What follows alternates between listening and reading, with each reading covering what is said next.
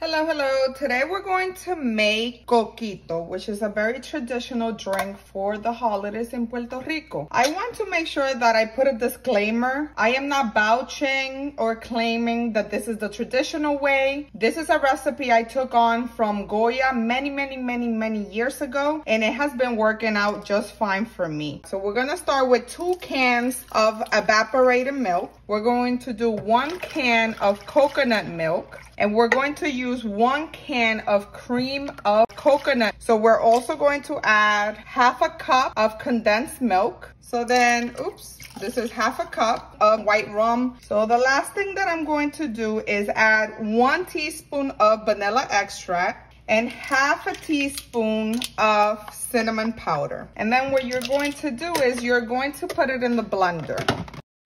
So something that I did this year is I bought these 16 ounce bottles. Um, I think it's great if you want to give this as a gift or if you want to store it at your, in your fridge. This coquito lasts very, very long time. It has a great fridge life.